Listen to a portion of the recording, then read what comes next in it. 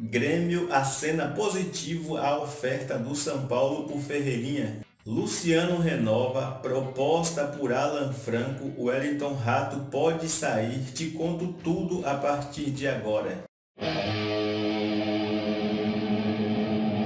Salve, salve galera, sejam bem-vindos a mais um vídeo aqui do canal. Convido você, é claro, a se inscrever no canal, ativar o sininho e deixar aquele super like maroto para batermos a meta de 50 likes no vídeo. É muito fácil, é só você já deixar o seu joinha aí, fechou? E você ainda concorre a uma camisa oficial do São Paulo. E agora vamos começar aqui o nosso giro de notícias do São Paulo e o ex jogador do São Paulo agora, Lucas Beraldo, né, que foi vendido ao PSG pela quantia de 20 milhões de euros pelo São Paulo. O Beraldo viajou ontem para a França para se apresentar ao PSG. O Beraldo que agora é o novo reforço do PSG. O Beraldo embarcou ontem e junto com ele também embarcou o Gabriel Moscardo, jogador ex-Corinthians, também será reforço do PSG para aí a sequência da temporada europeia que está aí em sua metade, né? Então, desejar ao Beraldo que tenha sucesso e boa sorte agora em sua carreira na Europa no PSG, beleza?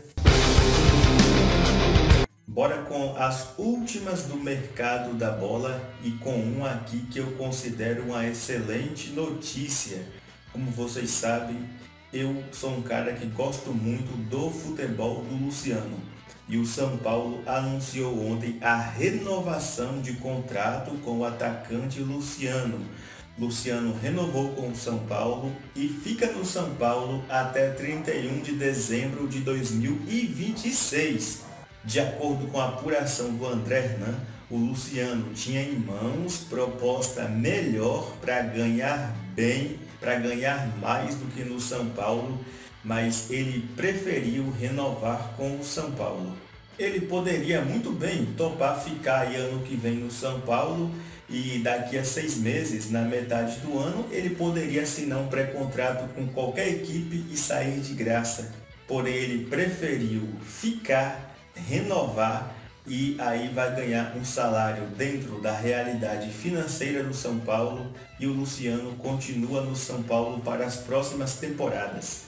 E internamente, essa decisão do Luciano foi vista pela diretoria como uma atitude de quem quis realmente ficar muito no São Paulo, abriu mão de uma oferta melhor financeira para ele, para continuar defendendo a camisa do São Paulo. E isso é justamente o que faltou ao Caio Paulista. Né? Faltou essa decisão, faltou fazer questão em permanecer no clube. E é de jogadores assim que precisamos. Jogador que abre mão de ganhar mais para ficar no clube.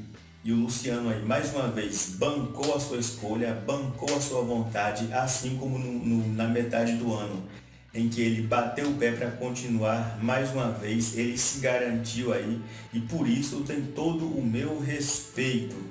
O cara identificado com o torcedor, com o São Paulo, de caráter, de responsabilidade e que quando está em campo representa, briga, luta. Por isso tem o meu respeito e eu quero saber a sua opinião sobre a renovação de contrato com o Luciano mais mercado da bola e chegou de forma oficial ao São Paulo uma proposta do Independiente da Argentina pelo zagueiro Alan Franco. De acordo com a apuração do GE, a proposta foi de 1 milhão 350 mil dólares, o que equivale a 6 milhões e meio de reais. E é claro que o São Paulo recusou a oferta. De acordo com o Gabriel Sá, aí o Independiente vê que o Alan Franco é o zagueiro que falta no plantel, que falta no elenco e por isso querem tirar o Alan Franco do São Paulo. Ainda de acordo com Gabriel Sá, uma nova oferta deve chegar ao São Paulo nos próximos dias, aí com um valor de cerca de 2 milhões de dólares.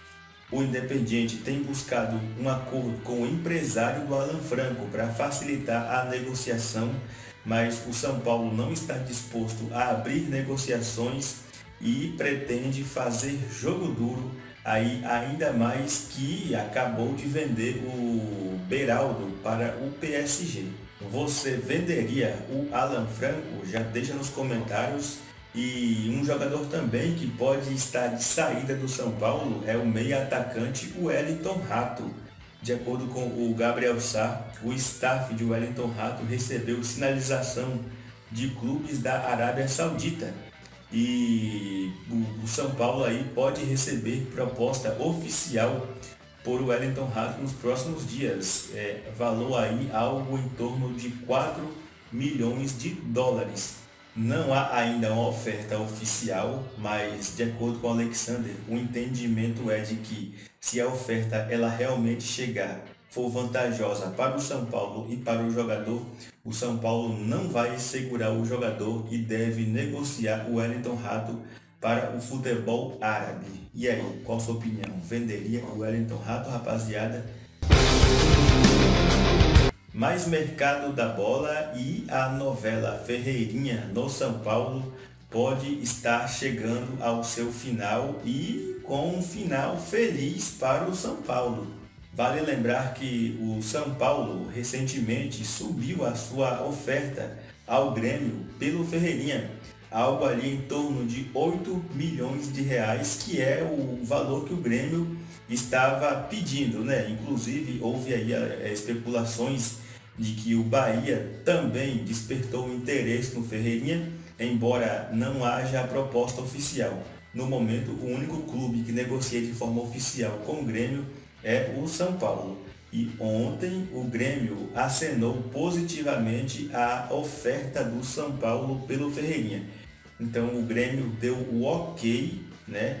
A oferta do São Paulo ali que é no valor que eles pediam só que o negócio ainda não está fechado por dois fatores. É, o São Paulo agora terá que combinar valor de luvas e também comissão do empresário. Então o São Paulo agora vai buscar é, acertar é, esses dois últimos fatores aí, já que o acordo com o Grêmio ele foi alcançado. O São Paulo finalmente conseguiu fechar o acordo com o Grêmio pelo atacante Ferreirinha e o atacante Ferreirinha está em vias de ser aí contratado pelo São Paulo e o São Paulo quer fechar o negócio ainda antes da virada do ano. Eu considero uma negociação muito boa para o São Paulo, uma posição carente que realmente necessitamos. Quero saber sua opinião sobre Ferreirinha no São Paulo. Está chegando ao fim a novela Ferreirinha, beleza rapaziada? Então opina aí, fechou? Se inscreva, ative o sininho e deixe o seu like, fechou? Tamo junto, boa sexta-feira a todos, é nóis! E aqui você já sabe que é Vamos São Paulo sempre!